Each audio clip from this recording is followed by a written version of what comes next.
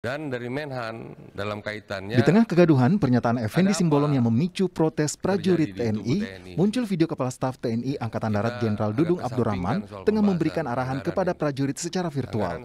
Dalam cuplikan video terdengar kekecewaan Dudung atas pernyataan Effendi Simbolon yang menyebut TNI seperti gerombolan. Dudung mendorong para perwira ikut bersuara dan tidak tinggal diam. Jangan kita diam saja. Dia itu siapa? Gak berpengaruh. Gak berpengaruh. Harga diri kehormatan kita. Kok diinjak-injak sama dia? Karena saya tahu juga dia dapat angin masalahnya. Sehingga kita duduk semua diam.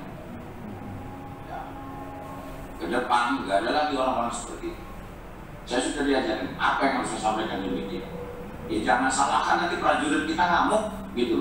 Seirama dengan kekecewaan kasat, Pangdam 17 Cendrawasih Majen TNI Muhammad Saleh Mustafa menyayangkan pernyataan anggota Komisi 1 DPR Effendi Simbolon. Pangdam menegaskan, TNI bukan gerombolan maupun ormas, melainkan alat pertahanan negara sekaligus pemersatu bangsa. saya sangat menyayangkan sangat menyayangkan bahwa TNI ini lahir dari rakyat dan sejarah perjuangan yang uh, tidak mudah. Negara lahir dan terbentuk. Begitu juga lahirnya TNI. Tidak ada satupun negara di dunia yang TNI-nya atau militernya itu bersifat gerombolan, tidak ada. Ya. Jadi yang ada TNI adalah sebagai alat dan juga sebagai pemersatu bangsa. Ini perlu diingat. Sementara Pangdam 14 Hasanuddin Maijen Totok Imam Santoso menyatakan kekompakan TNI tidak terpengaruh oleh pernyataan Effendi Simbolon. Kodam 14 Hasanuddin akan tetap profesional melakukan tugas pokok TNI. Kita semua tetap solid dan kompak. Khususnya jajaran kita sendiri, saya Pangdam, dan Rem, ada Pak Kasdam, Asisten, Dandim, kita semua solid dan kompak. Dan melaksanakan tugas pokok, bagaimana menjaga keutuhan dan TNI. Jadi kita tidak terpengaruh dengan pernyataan itu, kita tetap loyalitas tegak lurus pada atasan kita, Bapak Kasat dan juga Panglima TNI. Kita kompak menjadi satu. Pernyataan Effendi Simbolon dalam rapat kerja dengan Panglima TNI di DPR pada dalam 5 September lalu telah memantik kekecewaan dan protes massal prajurit TNI. Kegaduhan ini perlu diredam, apalagi Effendi Simbolon telah meminta maaf secara terbuka maupun langsung kepada Panglima TNI. Tim Liputan, Kompas TV. Lebih lengkap terkait arahan Kasat Jenderal Dudung Abdurrahman kepada prajurit yang meminta anak buahnya protes kepada Effendi Sibolon, kita terhubung dengan pengamat militer Koni Rahakun Dini Bakri. Selamat petang, Bu Koni. Selamat petang. Bu Koni, tanggapan Anda soal arahan dari Kasat untuk prajurit TNI Angkatan Darat terkait protes pada Effendi Simbolon. Bagaimana, Bu Koni? Eh, sedih saya. Itu reaksi saya pertama. Saya sedih sekali karena tadi malam itu saya keluarkan eh, apa sih wawancara ya. Saya sampaikan bahwa eh, betul kalaupun ada tindakan apa pun yang tidak per- diperkenankan atau ucapan apa pun yang tidak diperkenankan dari anggota dewan, itu kan sudah ada eh, jalur dan alur bagaimana eh, menindaknya gitu kan atau me- memperlakukannya. Nah ini tiba-tiba saya melihat eh, sampai tadi tadi malam ya, sampai masih melihat bahwa ini kayaknya ada eh, apa tidak tidak apa tidak di diperintah untuk melakukan eh, apa sih eh, rekaman-rekaman seperti ini ataupun itu. Nah, tahu-tahu kan hari ini kita melihat sendiri bagaimana rekaman itu keluar. Pertanyaan saya, ya kan, apakah kemudian akan berulang kejadian tahun 50 ketika TNI itu menggeruduk sipil? Jangan lupa ya, TNI itu dari rakyat untuk rakyat. Dan bagaimanapun DPR itu institusi yang harus kita hormati bersama. Kalaupun ada keberatan, sekali lagi saya sampaikan bukan begini caranya. Kedua, ini kan yang jadi kasihan adalah para para para anggota yang kemudian mengikuti perintah Kepala Staf Angkatan Darat untuk bikin apa serangan semacam ini gitu. Saya jadi bingung sebenarnya sebenarnya per- peran kasat apa ya? Menurut saya itu penggunaan TNI itu nggak boleh di Kepala Staf Angkatan Darat. Penggunaan itu ada ada di, ada di Presiden. Saya bingung, saya sedih eh, TNI bisa seperti ini.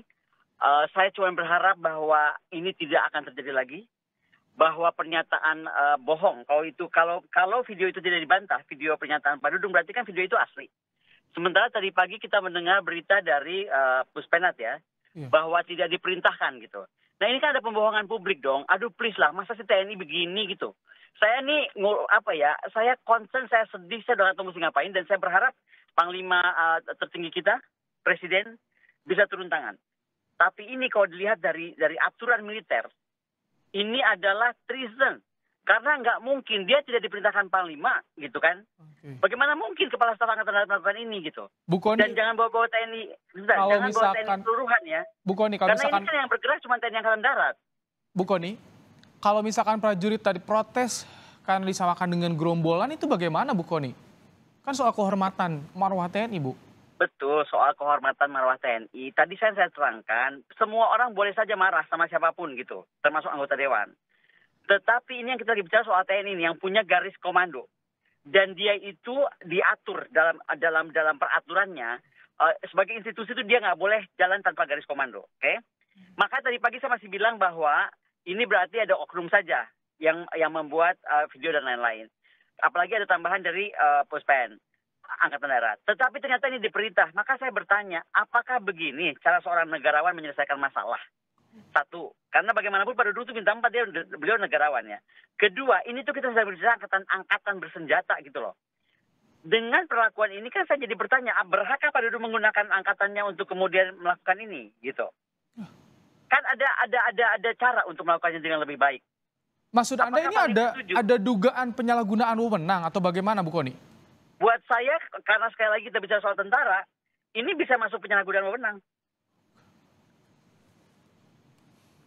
Impactnya apa penyalahgunaan wewenang kalau Anda lihat dari kasus ini? Ya, ini impactnya paling pasti ke saya saya rasa presiden harus segera memanggil eh, ke- karena beliau panglima, panglima tertinggi ataupun panglima TNI memanggil uh, kepala staf angkatan darat dan ditanyakan kenapa bisa memberikan perintah seperti ini. Yang paling kasihan, ya kita bicara kasihan nih. Saya tuh jadi kasihan kepada para perwiranya dan pada para prajuritnya karena dibikin salah. Kan ada gitu. Kenapa kalian diam saja gitu kan? Nah, tidak dibikin juga salah tambah lagi sekarang Persis sudah ikut-ikutan gitu. Diperintahkan juga, nggak tahu oleh siapa diperintahkan, membuat video dan uh, TikTok yang sama. Tapi yang paling parah adalah saya tuh masih berharap itu tuh tadinya tidak ada perintah. Sama seperti saya percaya ucapan Puspen Angkatan Darat bahwa tidak ada perintah itu seolah-olah apa sih uh, otomatis gitu. Perasaan mereka terluka lalala gitu. Tapi kalau jadi perintah ini menurut kita mesti selesaikan Bu Koni. ini bahaya, bahaya. Bu Koni, kalau Ibu lihat eh, pernyataan Pak Effendi Simbolon itu soal gerombolan, menyamakan dengan gerombolan itu bagaimana sih Bu Koni? Ini betul tentu menyakiti Saya- prajurit atau bagaimana? saya kan tadi bilang kata-kata mau apa pun itu, kalaupun menyakiti siapa pun, kita ini negara hukum. Dan semua ada porsi-porsi kayak kita sekarang kasus Sambo. Kita kan yang beresan siapa? Jelas kan? Sama kalau di TNI kalau ada yang ada yang ada yang melanggar kita bisa lapor ke POM.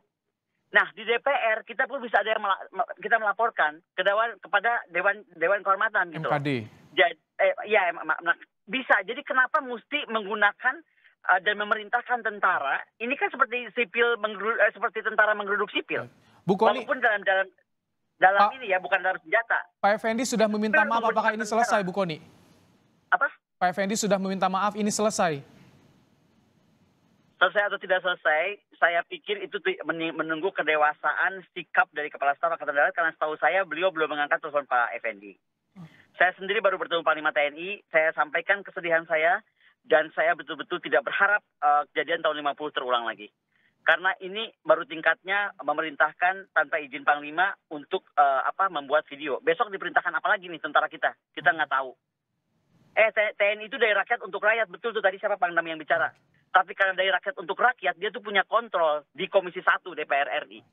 Nggak bisa dari rakyat untuk rakyat kemudian Anda sudah bertemu Panglima Bu. Koni, artinya ada respon juga dari Panglima, tapi kalau TNI protes, singkatnya jalurnya seperti apa Bu Koni secara singkat? Saya sampaikan tadi, mau protes apa pun, kalau TNI itu satu komando, tinggal cukup Pak Dudung sebagai kepala staf merasa keberatan, sampaikan kepada MKD, sampaikan kepada Ibu Puan Maharani, Baik. saya keberatan, eh, TNI saya terluka, dada dada dada. Bukan memerintahkan seperti ini, ini kan jadi jadi kacau nih sekarang. Saya saya malah jadi kasihan pada para pati, perwira ataupun prajurit yang akhirnya terpaksa karena diperintah membuat itu, membuat video-video atau TikTok tersebut. Kan serba salah buat mereka. Intinya pokoknya kita ini harus berduka lah kalau TNI Angkatan Darat, Angkatan Darat jadi begini. Dan sekali lagi saya nggak bilang TNI ya, hanya TNI Angkatan Darat yang yang melakukan ini. Tidak Kepala Staf Angkatan Laut, tidak Kepala Staf Angkatan Udara. Baik, tapi tentu kita semua berharap semoga tadi permintaan maaf dari Effendi Simbolon bisa mendinginkan suasana, semua berpikirnya rasional lagi demi soliditas kita bersama. Terima kasih.